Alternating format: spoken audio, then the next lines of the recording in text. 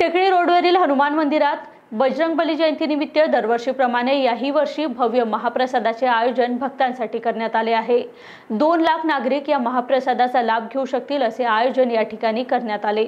हनुमान जन्मोत्सवानिमित्त आठवडाभरापासून भजनासह स्वरांनी शहरातील मंदिरे दुमदुमली आहे. अशातच नागपुरातील सुप्रसिद्ध टेकडी रोड हनुमान मंदिर समिती गवडीपुरा सीताबर्डी येथे हनुमान प्रकोटोत्सवानिमित्त मंदिरात विविध कार्यक्रमाचे आयोजन करण्यात आले असून त्याअंतर्गत भजन महिला भजन लोहापूल माता मंदिर महिला मंडळ गुरु डॉक्टर भजन मंडळ यादव समाज यांच्या वतीने जाणाऱ्या भाविकासाठी भजनाचे आयोजन करण्यात आले होते.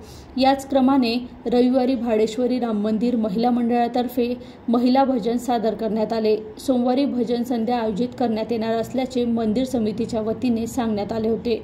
मंगळवारी पहाटे सव्वा पाच वाजता महाभिषेक व सकाळी सव्वा अकरा वाजता महाआरती झाल्यानंतर हनुमान प्रकोटोत्सवानिमित्त भव्य महाप्रसादाचे वाटप करण्यात आले.